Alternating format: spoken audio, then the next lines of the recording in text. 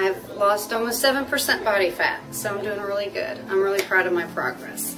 I like the variety and I, I love how I'm learning so much about the different, all about my body. I had no idea some of the muscles existed that do and I'm just learning a lot. The nutrition part's been the biggest thing for me.